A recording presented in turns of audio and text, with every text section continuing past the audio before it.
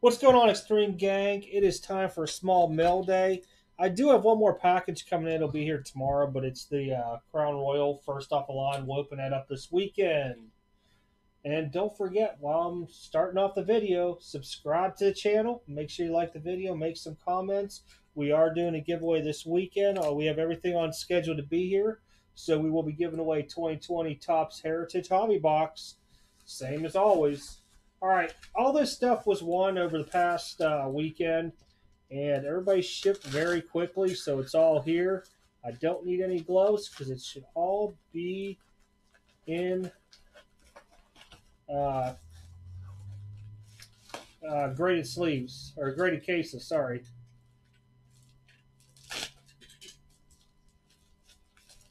Uh, this ain't working out for the better of me. There we go. Take this off. This stuff will be available on my slabs. All you gotta do is go to extremecardbreaks.com. Look at the top, you'll see the thing says my slabs, and you'll see them all available. Starting off 9.5 BGS. This is Luka Doncic. It's the uh, luck of the lottery, and it is the hyper 9.5. Only thing got a 9 on was a surface, so not too bad of a card right off the bat. That's how we started off here. Just put these there for now.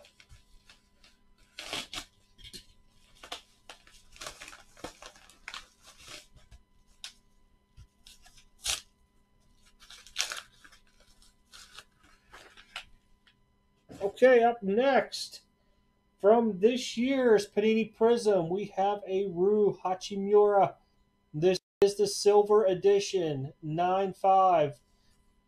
Gem Mint Plus, as you can see, 9.5, 9.5, 10, 9.5. This again will also be up for sale on my slab, so if you're interested in it, it will be a tad lower in eBay. And up last. This card here, I was hoping to get just because I like this year's product. Well, it's it's an older, it's an 80s card, but it was easier for that year to grade. See, they really hooked this up to make sure nothing happened to it. Let me throw this in the garbage. There we go. 83 Donruss Wade Boggs PSA 10. This is the rookie year. These aren't extremely, no pun intended, expensive. I want to say they go for about $65 on eBay roughly. So, again, this will also be available on my slabs in case you are interested into it. But that is it for my quick mail day this week. I won all three of these this past weekend. They all came in very, very quickly from the people I won from. Again, we do a box of uh, first off the line Crown Royale from this year coming in. We'll open that live uh, either Friday or Saturday night. I still am not too sure on it.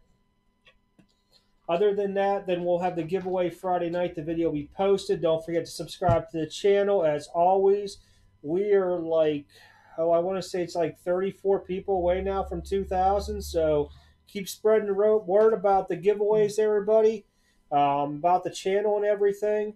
And I will be back this weekend with the giveaway uh, about an hour live. I'll give you guys a discount code for the store in case you guys want anything out of it. Now, when you do go to the cards for sale, it, if you hit all cards for sale, it'll go from the highest to the lowest, whatever the highest cost is to the lowest. So somebody asked me to change it, and I did real quick.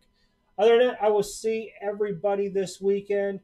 Have a good Thursday and Friday until I come back on. I will have Panini One boxes too. I think I got three of them. They're like 140 a box. And if you want Heritage, I believe it was either 90 or 95 a box. I have to look onto it with shipping. Well, shipping's included in the price. All right, that's it for me. Take care.